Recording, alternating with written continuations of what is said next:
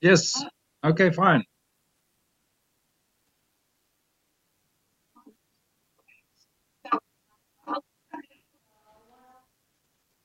roundtable on learn, learning language and content through tasks, right? So uh, the organization of the uh, roundtable is going to be as follows. First, a very brief introduction by Roger and myself. Then uh, Fran Lorenzo from the UPO, Universidad Pablo de Olavide, will talk on task-based uh, uh, principles. Then Karen Jacob and uh, Maria Juan Garau from the Universidad de las Islas Baleares uh, will talk for uh, another 15 minutes on tasks and transcultural competence. Then Rick will join us as a discussant, and then we'll take some questions from the audience. I hope we will have time. So briefly, then the general goal of this uh, roundtable will be to explore the interface between content and uh, language integrated learning, CLIL, and task-based uh, language teaching, TBLT, along the lines of uh, what we did in a recent uh, special issue published by uh, the journal System.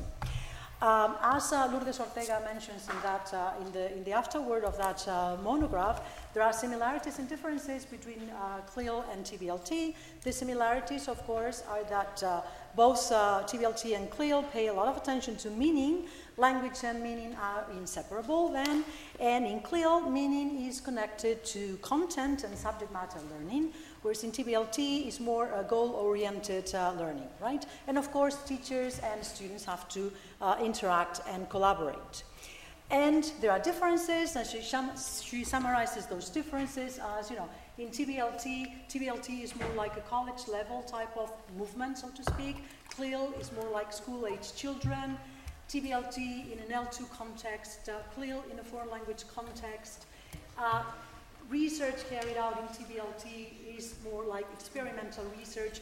She, in that uh, study, or in that for afterwards, she claims that, well, up to now, most of the research carried out in CLIL is uh, descriptive in nature, and then the difference in the uh, stakeholders' uh, uh, position, uh, because in, in, TBLT, they want knowledge transfer beyond the classroom, and in CLIL, it's they're interested in both games in language and content, in uh, in both uh, language and content, uh, to, they want them to be balanced, okay? Uh, Roger, it's your turn. Yes. Yeah. It's going to be so Okay. so my two Thank you. minutes and a half. Thank you.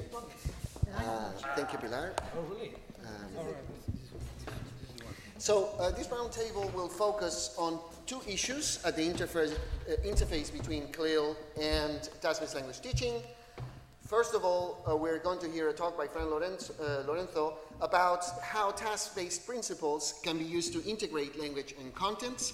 And the second one is going to be about how task-based units, in combination with um, information and communicative, uh, communication technology, so ICT, can be used to develop transcultural uh, awareness. Now, there is an undeniable growing interest in the concept of tasks, as many of you know, um, which comes from, from a diversity of fields. So we have an interest in tasks from the SLA perspective, the second language acquisition perspective, from foreign language pedagogy, from L2 writing, psychology, and many other uh, fields. And of course, from task-based language teaching itself and CLIL. Um, many tasks have been investigated from a theoretical point of view, from a research point of view, and from pedagogical, with uh, a ped pedagogical or within a pedagogical agenda. Now, the two main agendas we've had so far in task-based language teaching is either a cognitive agenda where basically the concerns have been with how uh, mental processes may be transformed by the design of tasks and how this affects performance and acquisition. This is the work of Long, Ellis, Robinson, and many authors you have probably read. And parallel to it, and I would say that sometimes they don't find each other very much, we have a parallel agenda, which is uh, a sociocultural agenda, which is more concerned with context, interaction, and individual, and how these may contribute to, learner, uh, to learning. Now, so what we're going to see today here uh, is two examples of how CLIL can derive pedagogical principles from perspectives um, uh, when teaching CLIL uh, through, tasks, uh, through tasks happens. So from the cognitive perspective, we're going to see Uh, references to the provision of rich and meaningful input, which is a precondition for second language acquisition, uh, and so how techniques may be applied like input flooding or enhancement or other uh, types of techniques, and this will be in the presentation by Fran Lorenzo. Things like uh, the um, promoting inductive learning uh, instead of deductive learning, and input-output feedback cycles, how they take place within a task right? And incidental focus on form. These would be the more cognitive concepts if you want. But we also have the issues of critical awareness, negotiation, uh, reconceptualization, and appropriation of meanings uh, in the social cultural agenda, integration of culture and identity in the learning process, and the idea of promoting uh, collaboration and scaffolding um, in interaction. So some of the questions we will try to answer with this uh, panel, I hope, are, you know, what brings tasks and CLIL together? And what are the differences also? How do we interpret meaning within um, the two perspectives? And uh, these are some questions that maybe we can go back at the end, unless other uh, questions come up. Thank you. Okay. Yes.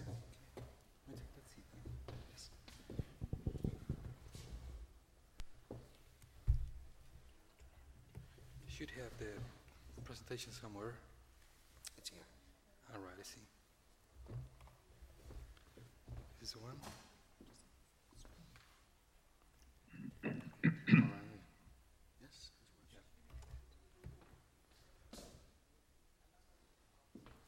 It's coming back.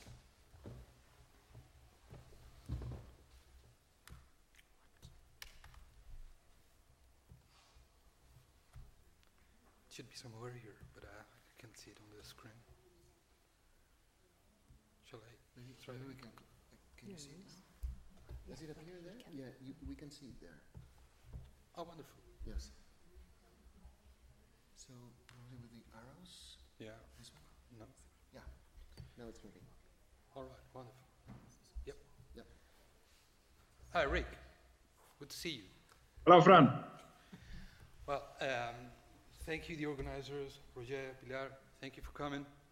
Um, well, basically, uh, the, the, the, what, I'm- what I'm going to explain is, uh, a project that we carried out in in the south of Spain, in Andalusia. For we've been working with uh, content teachers and language teachers for a number of years, and we started entertaining the concept of we have this real challenge, which is to send the message to content teachers that they need to X-ray their history, their mathematics, their science with uh, they have to linguistically X-ray that, that, content, as it were, right? They had to put on the language glasses, and that which apparently is easy or is commonsensical in a way. Also, uh, it appears not to be so easy or not so commonsensical. The problem is that when you have mathematics teachers, history teachers, and you have all these those content teachers, and you say, what kind of language are you going to teach? They are in a real they have in a real predicament, they have a real trouble, they don't know how to react. And that's something we can see all around in all the bilingual networks that uh, I'm aware of. uh, So uh, basically, the, um, uh, this was the first question that we uh, considered, is that if a task-based has been successful and has been okay for in EFL contexts, dating back to the, as a, as a proper com, um, com, as a real communicative method, and it, it has worked for EFL, why shouldn't it work for, for content-based or for CLIL or for bilingual settings? Um, I mean, uh, we found, for example, that uh, um, we have this spot the differences uh, task, right? And on, on the left-hand side of you, you can see a typical EFL situation where students have to spot the differences. You have a fisherman fishing, you have the, same fisherman, but there are uh, three fish in one picture, two fish in the other. Yeah, so it's basically a spot on the uh, spot difference task, right? That is EFL. In CLIL situations, you have spot the differences, but it is the three graces, a, a, a topic in uh, theme in, in, in classical art. And students basically what they had to do is to see how those are three graces are different in Renaissance and Baroque art. Um, um, it was the same with um, takes a little bit of a yeah, couple of seconds, right, to, to for the PowerPoint to react. That's why. Um, sometimes you have role play. Yes, it's a very well-known task type in in the in the, in the literature of, of in task research, task-based research.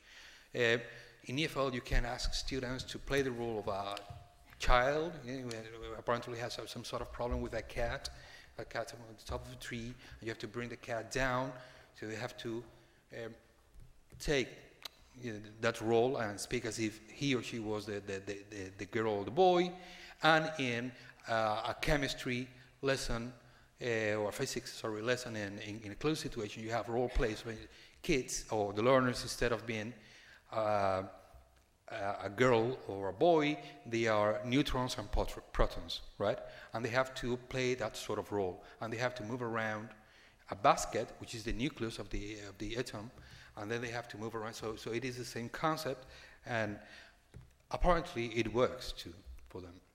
Now, you may have a different kind of uh, task type, for example, reconstruction text task now, again, on the left, you have typical sort of, you have some guy called Bird, who is apparently unknown or known to the learners for some trivial sort of reasons. Um, and you have to reconstruct a test given some sort of prompts or some sort of textual information. On the right hand side, you have the same uh, kind of exercise, but this time it's about the Cuban crisis, so it is um, a lesson in contemporary history. Um, Again, you, you can also have teacher-fronted tasks in EFL. Now, I, I, didn't mention it, but I think it is, uh, I sort of support and I, I, consider that the right definition for task is, uh, just any meaning-based activity. Yeah, that is uh, basically what the, the, the, canonical, if you want, definition of task, right? So a typical EFL task, you have a teacher talking to, to, to students, presenting some theoretical material, if you want, but uh, in the content class, it can be a different, a diagram presenting a, a, a chemical uh, process, right? So it works. We had this intuition that it works, right? And uh, with that we concept, we started a, um, a project, right? It was a demand from the regional, from the local administration there, right? Um, what we can see, and just I will be very brief on this, I don't want to get into the details of how uh, processing skills are different in, in content-based teaching and as opposed to EFL, but uh, it is true, and there is some research by in the volume, the system volume, uh, it makes clear there is more meaning uh, negotiation in CLIL classes than in EFL classes. So apparently there is more effort, there is more uh, meaning and form matching, there is uh, more, if you want, awareness that the right word has to be used, so you cannot, you have to use different kind of cognitive strategies, yeah, that are not so common in the in EFL. Basically, my personal interpretation, interpretation of that is that if in content-based uh, teaching we cover more the upper part of the of this square, the C part, yeah. So the information is more. Sorry, sorry. Um, in EFL, the information is cognitively is cognitively less demanding, and the context is reduced, as opposed to the content-based teaching where there is uh, more embeddedness. The context is clearer, and is more cognitively demanded. So perhaps that is the reason why there is a different mental activity and there are different uh, acquisition processes going on. Anyway, so this was the cognitive part, if you want. Um, as I say, um, we had this uh, um, pre-task, task, and post-task sequence, which is again the, the canonical kind of sequence uh, of activities in, in the task-based uh, class. And we um, this was part of a, of a, project, as I said. Um, we had like 20 different content teachers from all around Andalusia, from Almeria, well, all around.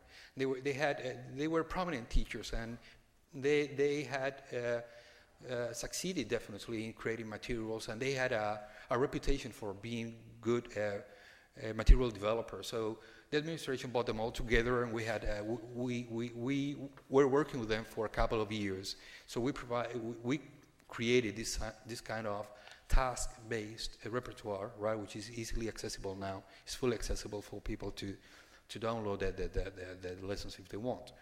This, um, the concept was, I mean, the, basically the task was they had to produce uh, task-based lessons for class scenarios for the classes they taught in all different subjects: mathematics, history, music, physical education, all different kind of, uh, of, of, courses. Um, just as a way of uh, just to, to, to, to, give you a very brief instance, uh, in uh, trigonometry uh, lessons, they had some, uh, as a pre-task, there was some lexical presentation. Yeah, so students had to learn the vocabulary before they actually started working through problems. Um, then there were the formula, the formula-like chunks were also presented previously as part of the pre, pre-activity, the pre-task. And it was only when that uh, stage had been covered and completed, it was, it was then when they started working with those, um, with, the, with, the real, uh, with the real problems. Yeah? So for example, you had a real problem, which is the, the, the typical uh, sort of class that it is at this stage where the, the, this lesson would start had it been in Spanish, not in English. So a ship of height, 15 meters, is sighted from a lighthouse. From the top of the lighthouse, the angle of depression to the top of the mast and the base of the ship equal 30 degrees and 45 degrees respectively. How far is the ship from the, from the lighthouse? Um, mm, that is the website, yeah? So in case you want to have a look at that, download all the material that you want. Student, uh, teachers have been doing that for a number of years now. They feel comfortable developing their own materials. And, use it, I guess, less, less often. Anyway, so as a second part of, the, of that project, uh, a colleague of mine, Pat Moore, and myself, we said, okay, what, why don't we sort of go through all those materials, uh, all those lessons? It is more than 130 lessons, and see what kind of pre-tasks, task, and post-tasks these content teachers, they are not language teachers, right? These content teachers have used. And this is precisely the, the, the, list that we have come up with, right? It is not necessary to see them all, but uh, I think it is important just to uh, emphasize the, the, the, the, fact that these uh, content teachers were familiar enough with the task-based methodology so as to produce the materials by themselves, right? So they were able to understand and implement brainstorming uh, activities, mind maps. They were capable of modeling target functions. Uh, they incorporated note-taking as part of their typical sort of activities in chemistry, in mathematics, in history. So that pre-task stage was covered. Then there were the tasks, right? They conducted experiments, simulations, yeah, resolving problems and, and, presenting solutions, they knew to, how to do this, and this was less of a problem for them because this is basically what they do, yeah, usually. Um, and um, finally, there was this post-task phase, which was a little bit more of a challenge for them because basically what the message, uh, what, what, we ask, what we ask them is to uh, control and see what kind of language problems students had, isolate them, and leave out like five, ten minutes, like every hour for, the, for them as content teachers to go over and, and um, revise, right? So students could actually notice, yeah, notice those language features. Um, we were pretty satisfied with the, with the, with the, um, with the project as such. I think student, I think teachers were also happy that they could understand and they, they were able and they had the, this feeling of being totally able for once, right, to, to, to incorporate language in their classes. We could also see that, that, there was a lot of potential in this method, not only for second language learning, but also for first language learning. So we started to consider language across the curriculum, including all the languages in the, in the school. And that is basically the the idea I wanted to, to, to present here. There are some references. If you want to learn more about the particular tasks, because uh, I imagine you couldn't see the, them all, in this presentation, but we had a publication in Language Learning Journal, Pat Moore and myself, in to the 2015. That's pretty much it. Thank you. Thank you very much. All right, shall we? Yeah. Change Uh, maybe uh, you need to sit over here. places. Yes. Was it okay time-wise? Yeah, Yeah. definitely. Yes, thank you. In fact, it's better because now we can fit, uh, yeah, more, more time into the panel. Yes, 13 minutes. So-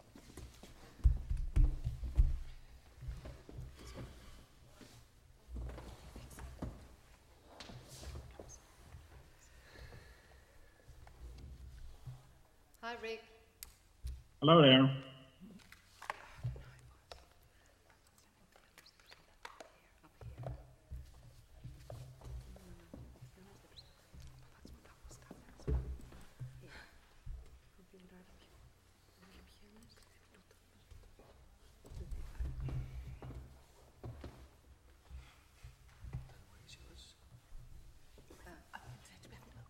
here. We haven't opened it, yes. Ah, okay. We need to get out so you can close it. No guardar. You can close this one too. And now yours should be on the desktop. At the back. You can minimize this. I will do it for you. It's at the back. Where's this at the back? To get rid of this one. Okay. So can you find it? Yes. Where is it?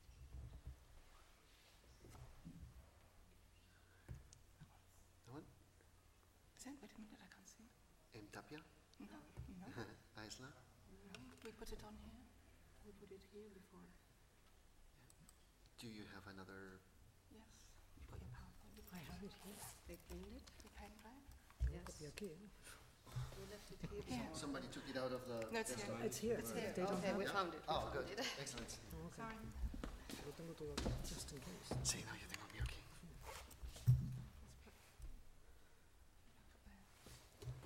There you go. Excellent. Okay, where was it? We had it? It's this one. Okay. Oh. That's, that's it? No. Yeah, that. Okay.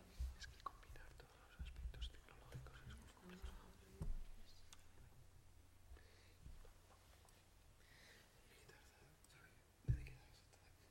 Pero bueno, yo cuando no sabes,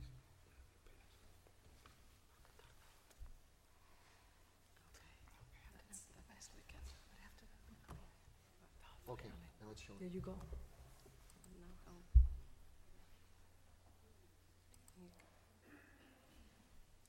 It's with the arrows. Yeah, we wanted to make it bigger here. Ah, We wanted to make it bigger. So we could see it here, but we couldn't see it on the. But it's, it will Well, show, it it, might it might oh, it will It's okay, no, it's okay, it's okay. It's thinking, Okay. it's a bit slow. It's Friday afternoon. The only thing is, it will cover part of the screen. Okay, is that all right? No, Can you see Rick on the, okay, on the corner? okay, I think we'll manage. We'll try. Okay, and now what? This? This one? How do we move it now? Are we this? No. Where? I think we need technical help. ¿Quién quién es el voto por cambiar? Ya está. Eh, what se if we fue. leave it here? Podíem tenir tota la pantalla en gran, però si no pot ser, no pot ser, si no ens ho poses en petit. Vale. Ahí está. I, I allò ho podríem baixar aquí baix? Sí. Poor Rick. Okay, What do you want? it's gone. No, no, It's this is disappeared. He's we have to put him up in the corner. Ahí, ahí, por ahí, por la esquina.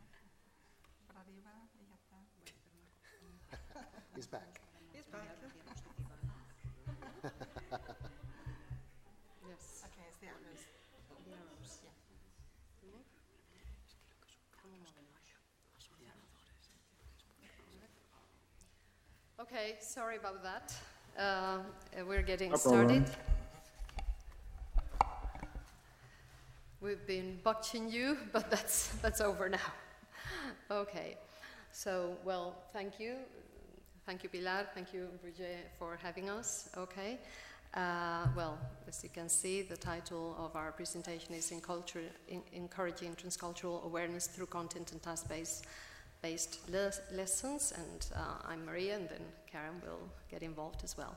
Okay, so we'll start with a brief uh, introduction, um, which uh, then will continue with uh, Karen uh, presenting uh, our project, which is enti- entitled the English as an International Language in Poland and Spain project, and then we'll draw some conclusions. Okay, so so as to foster the uh, internationalization of the uh, of the uh, EFL classroom, uh, we've uh, brought together a series of ingredients, the first of which is content-based, a content-based uh, approach to EFL, uh, which we've combined with task-based learning, and we've done that uh, in order to enhance the use of English as an international language among our learners, who are uh, learners in uh, Spain, on the one hand, in, in Majorca in particular, and in Opole, Poland.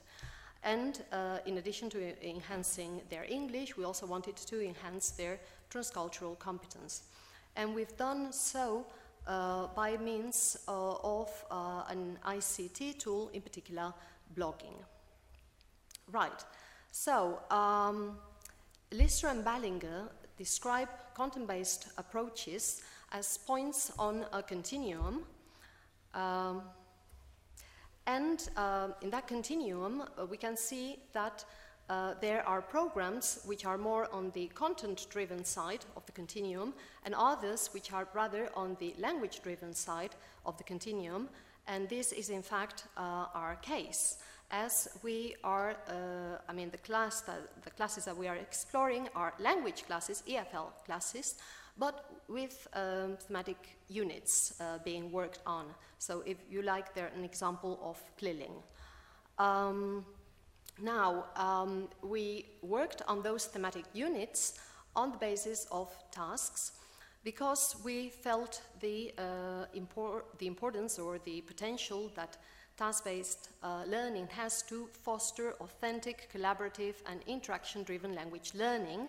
Uh, research has shown that uh, task-based uh, approaches can improve learners' motivation, can, as has been in, in a way hinted at before, uh, can also accelerate uh, language learning, and while doing that, it can also widen um, students' cultural perspectives. Um, we are also uh, interested in the processes that are at work when, uh, when doing task work, uh, in particular, negotiation of meaning and uh, co-construction or reinterpretation of knowledge. Now, um, as, as, I've been saying, our main aim is to uh, encourage uh, the use of English in the international arena and of transcultural competence uh, in particular. And uh, the thing is that um, with um, EIL coming to the fore, the place of uh, culture in the uh, EFL classroom has uh, been questioned because you know that um, L2 speakers have uh, quadrupled uh, in the last half century and they are actually uh, surpassing now native speakers and also that these L2 speakers are often learning often learning the language, English, for reasons other than their interest in the culture of a particular English-speaking country. Uh, and so we think uh, that this distinct uh, aims uh, uh, the, that uh, EIL, um, EIL users have may also need particular approaches to teach them. So, um, going to, mm, we're going to have a bit of a problem here with Rick. Um, Rick, can we move you down for a minute? well, I don't You think, can I don't move. know. Like it? Let's see if we can. Because he's going to cover our definitions. Yes, nicely, just for these ones. There you go. You Okay. Okay. Right. Uh, so, um, So I was uh, trying to define here what uh, transcultural competence uh, is. Well, first of all, we've used the prefix trans instead of maybe the more commonly used uh, intercultural competence because we feel, uh, following Thompson 2011, that uh, trans captures uh, the uh, sense of mul multidirectional movement, flow, and mixing that uh, we feel responds better to the sort of uh, uh, environment that we are investigating. And also, following the researchers that you see on your left-hand side, we have, uh-uh, it won't appear. Now, maybe because we are have a problem here. The white. A white screen? Mm. No, we are in PowerPoint, but the things should appear here, and they were appearing before. Is that moving? No, it's not a movie. No. It's, but it's like, But we can explain it more if, or if not, We can if it doesn't appear, no we'll problem. explain it. It's a pity Yeah. because we had animation. Maybe if we can move. Is Or, There we go. yes, yes, thank you. Okay, so uh, the way we've, um, as I was saying, we've operationalized this uh, concept, or this uh, uh, construct of transcultural competence is through a series of notions, okay, like I said, following the authors on screen, in particular, word, learn, world learning, which is knowledge of other societies and, and lifestyles, then also uh, global awareness, which implies uh, understanding of transnational conditions affecting uh, people's uh, quality of life. Um, then foreign language proficiency, well, I think we all know what that is. Then uh, effective development, which uh, means developing qualities such as flexibility, sensitivity, open-mindedness, and so on. And uh, empathetic activism, uh, which is showing an inclination to take action to fight injustice, and it is often connected to critical thinking. Right, so that's uh, what we mean then by cultural competence, and the place where we've brought all of these ingredients together is through the blogging, where, which is the third space where the uh, two learning communities uh, in Majorca and uh, in Spain and, and uh, Poland that we've talked about come together uh, through uh, this virtual space, really. Um, and thanks to computer mediated uh, communication, students have the possibility to renegotiate to uh, their, their identity and to also develop a sense of we-ness, a sense of coming together and uh, bonding. Right, now moving on finally uh, to the specific study, uh, the uh, research question that we set ourselves was what evidence is there of the emergence of transcultural skills after the implementation of an ELT approach that combines content-based task work with virtual third space communication between culturally diverse English language learners. And then, well, you can see the ingredients that I've been mentioning before that we have uh, put together in this uh, transcultural approach. Now, our participants were uh, 95 EFL learners, uh, aged uh, between the ages of uh, 14 and 16, uh, in two different locations, as mentioned. Uh, and that was part of a case study that was carried out throughout an entire academic year. and the, in this study, the two groups benefited from a largely parallel transcultural approach with the characteristics I've mentioned. And uh, now Karen is going to take over and describe the web. Okay, uh, good evening. I'm going to start off with just explaining a little bit about the blog that we were using, the blog interface, and then give uh, some information on the different units of work that we we were doing with the students and some of the um, results on the blog. So as you can see here on the screenshot from uh, the interface, uh, the blog was called EIL in Poland and Spain. Um, on the right, uh, if you look down, you'll see that uh, we have some information pages about the units of work, which were cultural stereotypes, Africa, And then the third unit was mus- music with a message. You also have a list of all the students who were participating uh, on the right. And then looking at the main part, uh, you can see that there's a, obviously um, a post here by one of the students with some photographs of Apollo, uh, and underneath there's comments from other students. If you want to make a comment, then you'll see that in this particular example there were three comments. You click on that and all the comments open up. So on the next slide we can see an example of some comments to one of the posts of the students. Okay, so let's go on to describing a little bit about the work, uh, the units that uh, we did with the students. Um, the first one was called uh, Cultural Stereotypes, and you can see that they were divided into a pre-task, principal task, and then a post-task. All of the units uh, followed this format, and it was generally the post-task that was where the students had to put some work onto the blog so they could discuss things with the students from the other country. So here in this particular example, uh, to start off in the pre-task, the students were given um, pictures of cultural objects pertaining to, to different countries they had to guess uh, where, using these stereotypes, uh, which country uh, they were depicting. Obviously, they didn't have the names of the countries there on the pictures. Following on from that, their main task was to fill in a worksheet about stereotypes and then have a discussion about that in class. Then, uh, for the blog work, the blog assignment for the post task, they were given two questions which they had to answer on the blog and then discuss comments between themselves. So the first question was, are cultural stereotypes a good way to learn about people from other nations? And the second question, do cultural stereotypes about a country motivate or put you off wanting to visit or learn the language that was spoken in that particular country? So here's one of the replies from one of the Spanish students. He says, I think stereotypes are a way to introduce you in the costumes or customs of one country, but they're not always true. And yes, sometimes they can be harmful because someone can judge and he just uh, know one person of the country, so he has no idea of what he is saying. You'll see here that all quotes are, are verbatim, so um, you can more or less work out what they're saying. There are some mistakes. But obviously here you can see that this person is learning about the world, so this is one of our areas of transcultural competence, and is also think, starting to think critically about some of the ideas. Okay?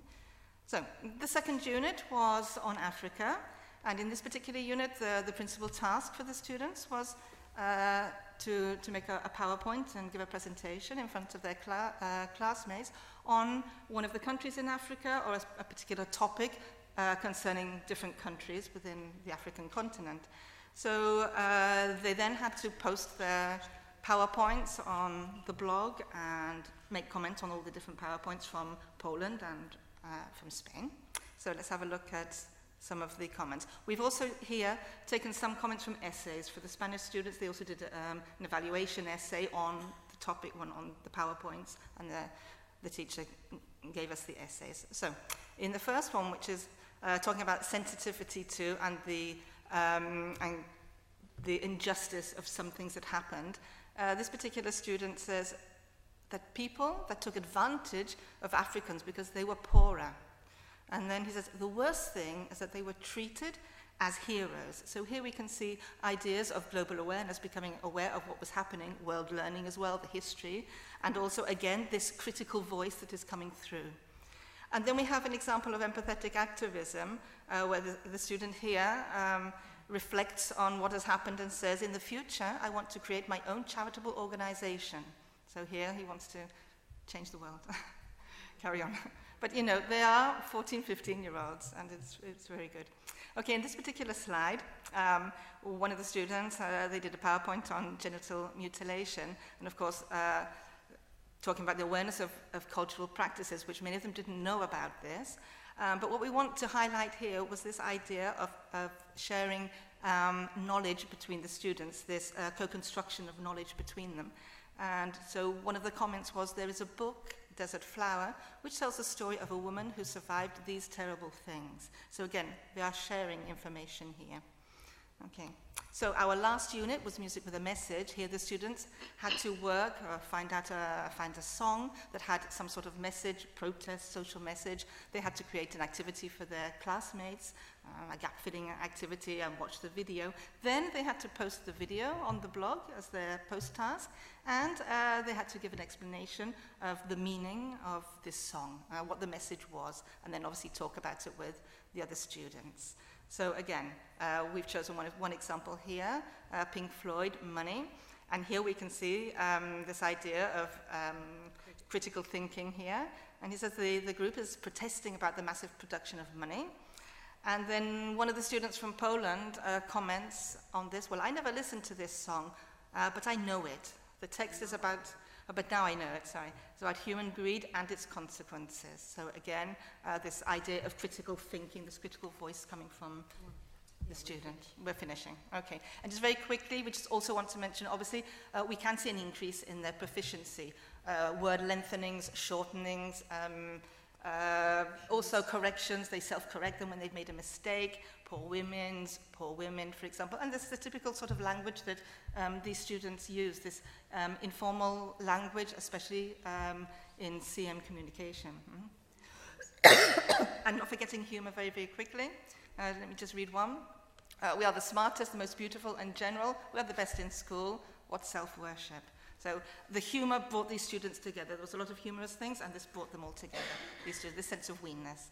And as some conclusions, well, we would just like to say that uh, we feel that this use of these specific content and task-based units um, has uh, encouraged the acquisition of transcultural competence in our students. We've seen all of these examples. And that CMC allows these learners to go beyond the, the border, the confines of the classroom, and uh, speak to uh, communicate with users of English as an international language in other countries. So obviously this is a good option uh, to foster learners' authentic use of language, as well as this idea of internationalization at home, uh, due to the fact that not all students have the luxury of being able to go abroad to, to visit and practice language. And uh, some references and acknowledgements, and thank you all for listening to us. I'm sorry for taking so long. Now we're going to listen to Rick. I need one minute.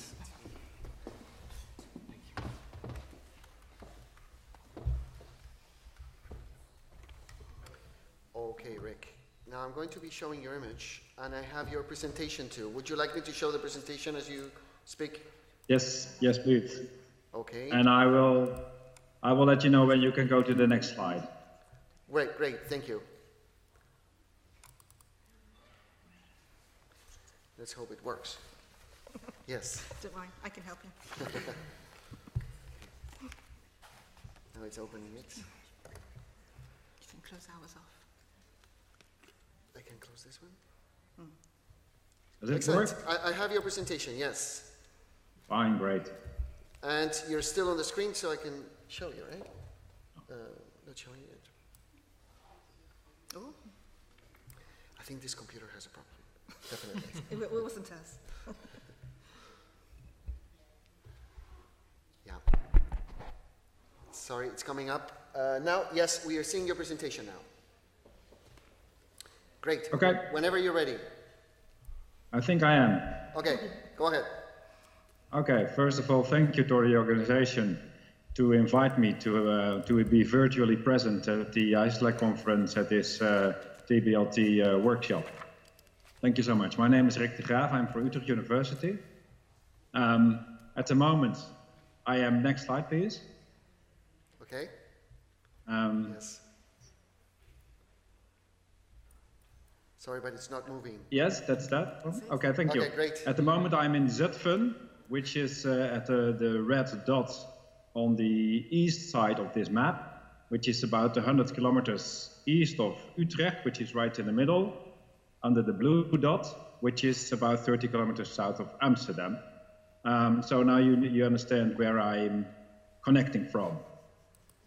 This might even look like, like the transcultural uh, uh, experience that, that the students had in uh, the, uh, the uh, classroom practice that was just presented. Um, next slide, please. Okay? There you see that there you saw what Zutphen looks like along the river the IJssel. Okay, that's about uh, my context from which I am talking to you at the moment. Um, when we talk about CLIL and task-based language teaching, we can focus on similarities and we can focus on differences and we can see where, but more interestingly, how the two can meet. Um, in the uh, special issue system from last year, in her discussion uh, contribution, Ortega uh, uh, argued that CLIL and TBLT are based on the tenet that language and meaning are inseparable. That's definitely true both for CLIL and for TBLT. Um, she indicated that importance is given to meaning. In both cases, language and meaning are inseparable. In CLIL, meaning is connected to content subject matter learning. In TBLT, uh, um, uh, connected to goal-oriented learning. Um, in this definition, I think we can say that also in CLIL, meaning it's connected to goal-oriented learning. The goal there is to learn content in subject matter. So it's uh, uh, a, a, different focus, but it's in both cases goal-oriented. And in both cases, teachers and students must interact and collaborate in order to reach that goals. Must interact and collaborate in language and through language, and must interact and collaborate on content, in that case in CLIL, on subject matter content in order to reach that goal. Ortega further says that although in CLIL meaning is connected to content and subject matter learning, whereas in TBLT meaning is associated with experiential and goal-oriented learning.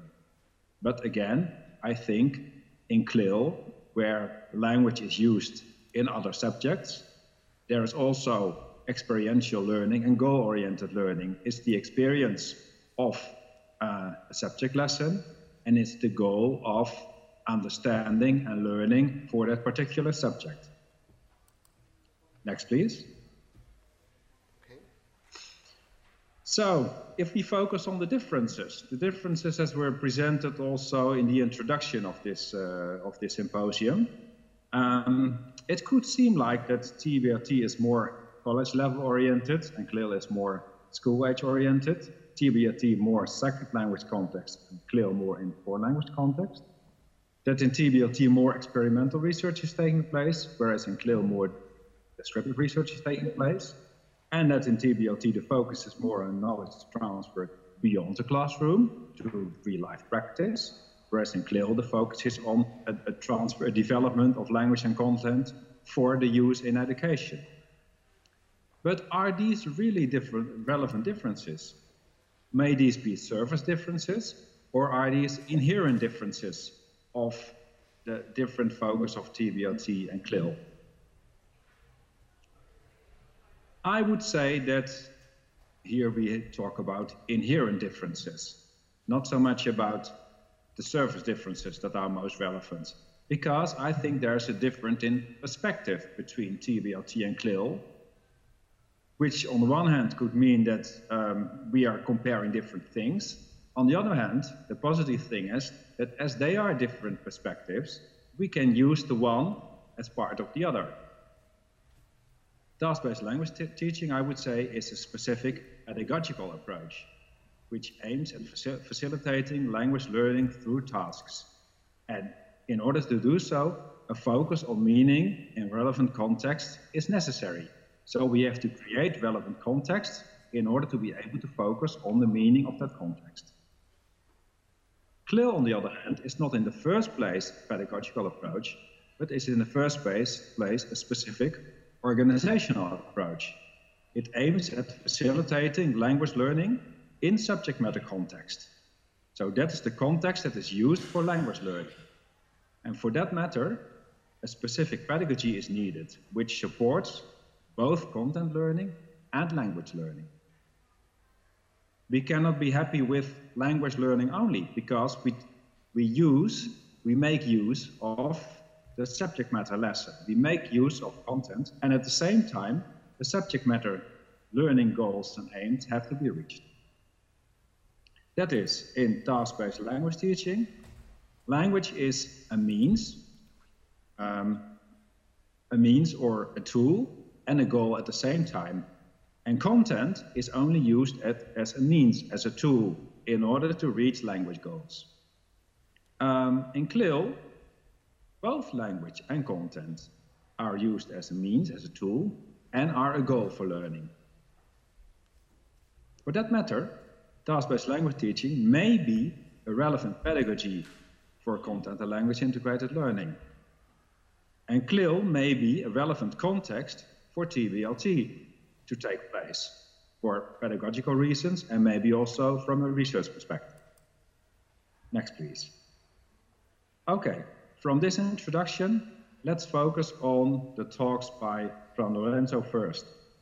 Um, Lorenzo presented tasks that were created by content teachers and that were analyzed from a TBLT perspective. And here we could see very clearly that within a CLIL context, TBLT as a pedagogy and as a, a, a framework for task and task material development can be very useful. We can speak about in-class tasks. So there is a way of um, uh, authentic task use, but the authenticity is not so much in the real world. The authenticity is in the real school world, as it is the kind of activities that usually take place within a subject matter classroom. And that's why those subject matter teachers were able, in a natural way, to create, to develop this kind of tasks. So we speak about authentic classroom communication in these examples. We also speak about authentic subject matter text types in these examples. The type of texts that are relevant in a subject as history, in a subject as biology, etc. And authentic subject matter topics. The, uh, uh, the example of the, uh, the painting with the comparison between the, the three Rubens women and the three uh, women in the other medieval painting, that's relevant for the subject matter of an arts class. And the text of comparison is also relevant for a subject matter arts class. That is, in this kind of classes, in this kind of subject lessons, language is always present for subject matter learning. The question is, how can this presence of language be made more explicit for the pupils and also for the teachers, because we know from other research that content teachers are not always so much aware of the role of language in their teaching. Um, so how can we raise this awareness for teachers and for learners in order to raise uh, the effectiveness of the use of that language, not only for content matter uh, learning, but also for language learning. in TBLT, in this context, in this particular clinical context, then uh, uh, Lorenzo has shown that it shares characteristics both at the pre-task level, at the task level, and at the post-task level to make for meaning connections explicit and to make subject-specific text types list. In content teacher training, then, I would say, we could focus on how task characteristics at the pre-task, the task, and the post-task level can be used in an effective way to both support uh, content matter learning and language learning. And here I think we can use evidence from TBLT research that is also relevant for the context of CLIL. Let's go to the presentation by Karen Jacob and Maria Juan Garau. Um, they presented a very interesting context of transcultural learning in a virtual environment in which pupils from Mallorca and pupils from Poland were in interaction around relevant transcultural topics. They focused on cultural topics, they understood their own and their interlocutors' cultural perspectives, and in that way they were able to develop their cultural development. And language was needed in order to do so. That is, here was definitely authentic communication. Although it took place in a virtual environment, it was communication between people with different contexts and different meanings. So here, really negotiation for meaning took place. Not only on the meaning of the the, the, the vocabulary, but also on the meaning of different perspectives on cultures. For that same matter, um, there was an authentic information gap as pupils from the different countries uh, communicated from their own cultures, um, where uh, an information gap on different perspectives of these cultures had to be bridged. Interestingly, also, uh, the communications were not targeted to a, let's say, native speaker language or a native speaker culture. Um, it was really an example of English as an international language, which is relevant for communicating between people from any language or any context. We could say here then that in this example of task-based language teaching, um, negotiation of meaning took place, as this was necessary in order to create understanding, but also negotiation for meaning took place. Negotiation in order to understand and to create new context. And also negotiation through meaning took place. There was new meaning, new context created, um, and there new learning took place. Okay. Let's go to the next one. I would propose a research and development agenda from this introduction and from these two examples. And I think relevant questions are, for the, both for the TBLT research community and for the CLIL research community, the following. What TBLT approaches, so what TBLT specific pedagogy is most beneficial in CLIL contexts, where we do not only focus on uh, the goal of language learning, but where the goal of content learning is also essential. Second, how can tasks optimally make use of the aims and contents, contents of subject matter learning? That is, how can we even better make use of what happens in subject class in order to create optimal conditions for language learning?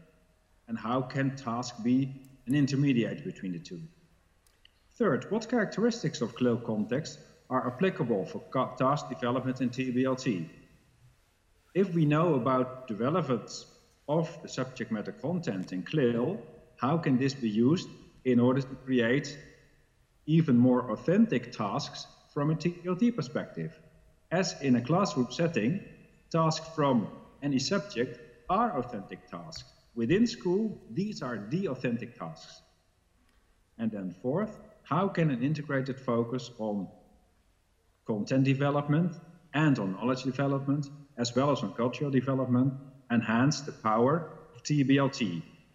If TBLT not only focuses on language development with content as a tool, but also on content development, on cognitive development and cultural development, may this be a starting point for even more effective TBLT. What does this mean for the principles of TBLT development? Yeah. Uh, let's go. Let's go to Rick, the. Rick, I, I, think we will need to start wrapping up because we're already using time of the general uh, That's assembly. okay, but the next one is the last one for now. Excellent, great. Yes, because I wanted to go back to the differences that were presented by right. uh, you and Pilar in the introduction, based on uh, the differences by Ortega. Um, and I talk about inherent or surface differences. And I would say then that the differences are actually surface differences. Also in uh, uh, uh, CLIL, we can focus on college level. Also in TBLT, we can focus on school-age children. They are both relevant for second language context and for foreign language context. The, the reason that there has been mainly descriptive research in CLIL and experimental research in TBLT is a matter of context, but can also be de could develop to a more integrated uh, type of, of research. And in both cases also, we are interested in transfer beyond the classroom, and we are interested in the use of the language that is learned within the school setting. So I think the two can definitely meet.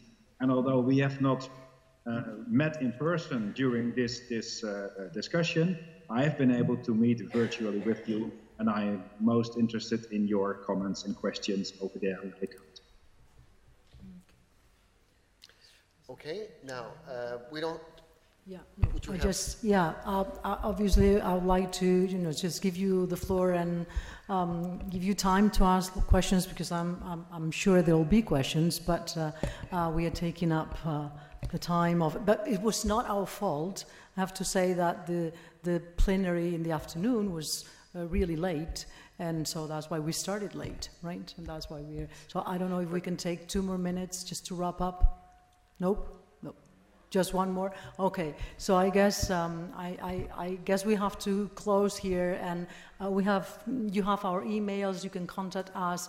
Uh, we want to finish by thanking um, Ana Llinares, who was uh, the person who actually encouraged us to, to prepare these, and uh, Roger probably wants to say something about next year. Well, I don't know. in, uh, just that uh, the next task-based language teaching conference will take place in Barcelona from the 19th to the 21st of April, and you will all be very welcome uh, to come where we will discuss these issues, among Yeah. others. Thank- Thanks for being here. Thank you Thanks. for being here, and thank you, Rick, for your comments. Thank you. You're welcome.